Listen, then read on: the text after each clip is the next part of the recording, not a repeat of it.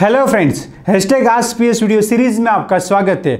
आपको export import related कोई भी क्वेरी है वीडियो के नीचे कमेंट कर सकते हो। एंड एक्सपोर्ट इंपोर्ट के लेटेस्ट अपडेट के लिए online EXIM export import app को डाउनलोड कीजिए। आपको एक्सपोर्ट इंपोर्ट के लेटेस्ट अपडेट मिलते रहेंगे। फ़र्स्ट कॉमेंट यहाँ पे है मिस्टर देवांग का। हैशटैग आज पी एस सर अगर हमारे पास अभी बायर नहीं है तो हम मालूम नहीं कर, है कि बायर कौन सी कंट्री से मिलेगा। उस केस में हम पहले से एफ़ या सी प्राइस कैसे कैलकुलेट करें?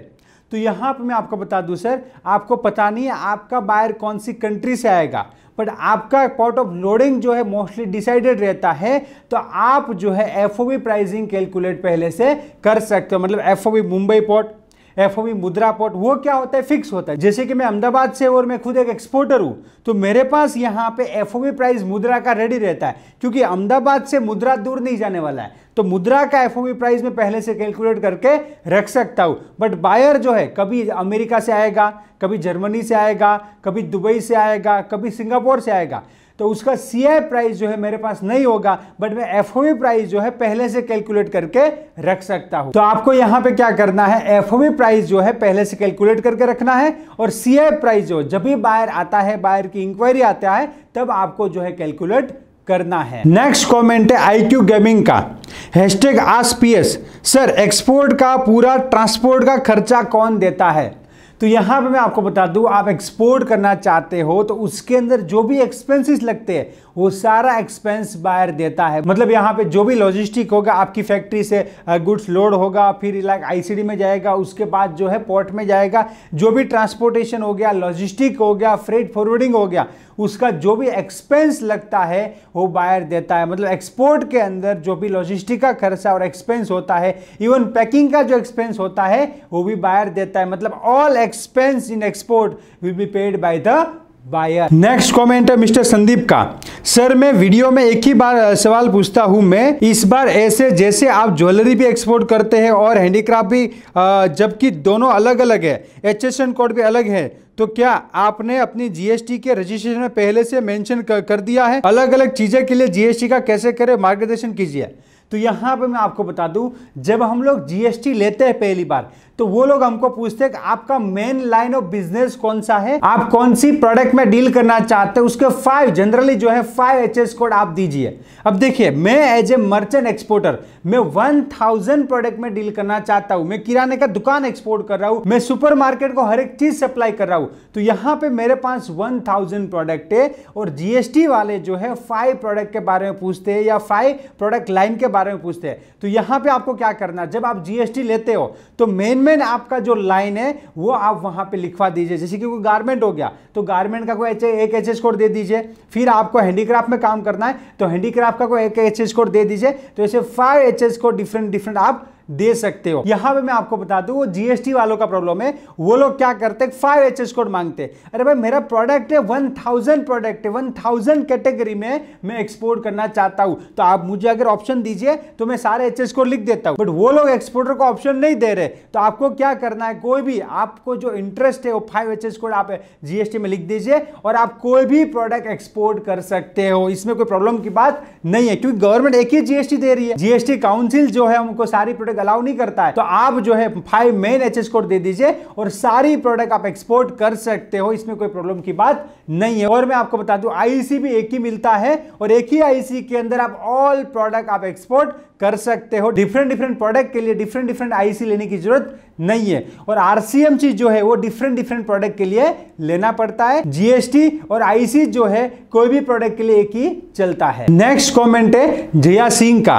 मर्चेंट एक्सपोर्टर बनने के लिए क्या क्या प्रोसेस होता है? डीजीएफटी में रजिस्ट्रेशन करवाना होता है। आप एक मर्चेंट एक्सपोर्टर बनना चाहते हो तो यहाँ पे मैं आपको स्टेप बाय स्टेप बताता हूँ कि आप जो है मर्चेंट एक्सपोर्टर कैसे बन सकते हो। तो सबसे पहले आपको एक कंपनी खोलना पड़ेगा। उसमें आप proprietorship company partnership company LLP company या प्राइवेट लिमिटेड कंपनी खोल सकते हो या ओपीसी कंपनी भी खोल सकते हो। आप स्टार्टिंग लेवल पे हो तो प्रोपराइटरशिप कंपनी शुरू कीजिए। उसका आपको बैंक अकाउंट खुलवाना है। क्या खुलवाना है? बैंक अकाउंट खुलवाना है और उसका आईसी लेना है। यस डीजीएफटी में आपको रजिस्ट्रेशन करके डीजीएफटी से आईसी लेना है और दूसरा जो है आपको जीएसटी काउंसिल में रजिस्टर करके जीएसटी का सर्टिफिकेट लेना है और आपको प्रोडक्ट के हिसाब से, जैसे कि एग्रीकल्चर प्रोडक्ट एक्सपोर्ट करना चाहते हो तो आपको अपेडा लेना है और आपको कोई फ़ूड प्रोडक्ट एक्सपोर्ट करना है तो मर्चेंट फसाई लेना है। मर्चेंट एक्सपोर्टर को मर्चेंट फसाई लेना है मैन्युफैक्चर एक्सपोर्टर को मैन्युफैक्चर फसाई लेना है। तो आपको मर्चेंट एक्सपोर्टर बनने के लिए आईसी आरसीएमसी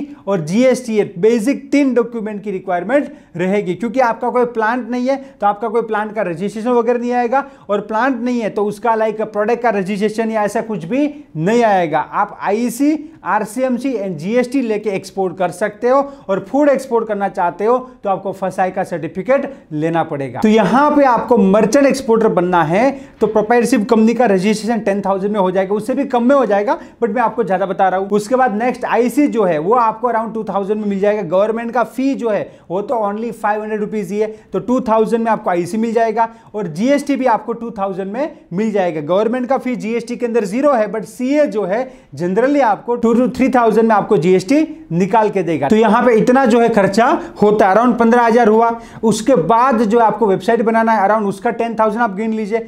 थोड़ा और मार्केटिंग करना है। ब्रोशर वगैरह, उसका फाइव थाउज़ेंड गिन लीजिए। तो अराउंड थर्टी थाउज़ेंड हुए। और भी कोई खर्चा है मार्केटिंग के लिए या आपको कुछ ट्रेनिंग वगैरह लेना पड़ा, उसका खर्चा आप गिन लीजिए। तो यहाँ पे अराउंड जो है फिफ्टी थाउज़ेंड के अंदर आप मर्चेंट एक्सपोर्टर बन सकते हो। दूसरा जो है प्रोडक्ट के लिए कितना इन्वेस्टमेंट लगेगा? अगर हंड्रेड परसेंट पेमेंट एडवांस मिलता है तो आपको यहाँ पे इन्वेस्टमेंट करने की कोई ज़रूरत नहीं है। मतलब फिफ्टी थाउज़ेंड के इन्वेस्टमेंट में आप एक्सपोर्टर बन सकते हो। मतलब यहाँ पे एडवांस में पेमेंट मिलता है तो आप जो है अपना बिज़नेस फिफ्टी थाउज़ेंड रुपीज़ में शुरू कर सकते हो। और कोई भी एक्सपेंस जनरली जो है एक्सपोर्ट में होता है, वो तो बायर से ही लेना होता है। जैसे कि टेस्टिंग रिपोर्ट वगैरह हो गया बायर के नाम का पैकिंग वगैरह करना है। इवन हमारे नाम का पैकिंग करना है तो भी एक्सपेंस जो है, खर्चा जो है, वो बायर ही देता है तो फिफ्टी थाउज़ेंड रुपीज़ में भी आप एक्सपोर्ट बिज़नेस शुरू कर सकते हो। नेक्स्ट कॉमेंट है सर एक कैब वर्थ फोर थाउज़ेंड आई का खरीदना है यूएसए तो इस पे मेरा कितना कस्टम ड्यूटी लगेगा इंडिया में? प्लीज़ रिप्लाई तो आप जो है फोर थाउज़ेंड का कैप यूएस के अंदर खरीदते हो, उसका इंडिया के अंदर जो है आपको कितना इंपोर्ट ड्यूटी भरना पड़ेगा? अगर आप एक कैप को पर्सनल यूज़ के लिए लाते हो तो आपको जो है around thirty six point five percent import duty भरना पड़ेगा। यस इंडिया के अंदर कोई भी चीज़ आप पर्सनल यूज़ के लिए लाते हो तो अराउंड जो है 36.5 परसेंट इंपोर्ट ड्यूटी भरना पड़ता है। और आप एक कॉमर्शियल यूज़ के लिए बिज़नेस पर्पज से लाते हो तो डिपेंड रहता है कितना इंपोर्ट ड्यूटी आइस गेट के ऊपर है कस्टम के अंदर जितना इंपोर्ट ड्यूटी होगा, वो आपको भरना पड़ेगा प्लस जीएसटी भरना पड़ेगा। सपोज़ इंपोर्ट ड्यूटी कैप के ऊपर 20 परसेंट है प्लस 18 परसेंट जीएसटी जो है, जो भी कैटेगरी में आपका जीएसटी आता है, उस हिसाब से जीएसटी भरना पड़ेगा। तो यहाँ पे दो ऑप्शन है। पर्सनल इंपोर्ट करते हो तो अराउंड 36.5 परसेंट इंपोर्ट ड्यूटी आपको फ्लैट भरना पड़ेगा। दूसरा जो है प्रोफेशनल इंपोर्ट करते हो तो आपको जो है कस्टम के हिसाब से इंपोर्ट ड्यूटी भरना पड़ेगा। नेक्स्ट कॉमेंट है मिस्टर सुशांत का। Sir what is MSME what is the benefit of MSME please make detail video on MSME certificate तो एमएसएमई को आज के दिन में उद्यम बोलते हैं। पहले था उद्योग आधार, अभी बोलते उद्यम सर्टिफिकेट बोलते हैं। तो एमएसएमई का जो सर्टिफिकेट है, बहुत ही अच्छा है। उसके बहुत सारे बेनिफिट है। हमारी गवर्नमेंट बहुत सारे benefit micro small and medium enterprise को दे रही है। वो सारे बेनिफिट लोन वगैरह जो है एमएसएमई का, उद्यम का आपके पास सर्टिफिकेट है तो ही आपको मिलेगा। तो आप एक्सपोर्ट इंपोर्ट बिज़नेस करना चाहते हो, या आप लोकल में बिज़नेस करना चाहते हो, उद्यम आधार जो है, वो आप ले लीजिएगा। जिससे आपको गवर्नमेंट का बहुत सारा सब्सिडी मिलेगा। मतलब मिनिस्ट्री ऑफ़ एमएसएमई के जो सारे बेनिफिट है, वो उद्यम सर्टिफिकेट से आपको मिलता है। और भी कोई एक्सपोर्ट इंपोर्ट रिलेटेड क्वेरी है तो वीडियो के नीचे कमेंट कीजिए। उसका भी आंसर मैं यहाँ पे वीडियो के माध्यम से दूँगा। और प्रैक्टिकली एक्सपोर्ट इंपोर्ट सीखना चाहते हो, गुजराती बिजनेसमैन से बिज़नेस सीखना चाहते हो तो हमारा ट्रेनिंग ज्वाइन कर सकते हो, जिसके अंदर मैं ही सिखाऊँगा, पूरा सिखाऊँगा। Let's go global together thank you thank you for watching this video export import के लेटेस्ट अपडेट के लिए हमारा टेलीग्राम चैनल ज्वाइन कीजिए और मुझे सोशल मीडिया पे फॉलो कीजिए, जिसका लिंक नीचे डिस्क्रिप्शन में दिया गया है। एंड एक्सपोर्ट इंपोर्ट के लेटेस्ट वीडियो सबसे पहले देखने के लिए मेरे यूट्यूब चैनल को सब्सक्राइब कीजिए और बेल आइकन को क्लिक कीजिए, जिससे आपको जैसे नया वीडियो आएगा नोटिफिकेशन मिल जाएगा। Let's go global together thank you जय हिंद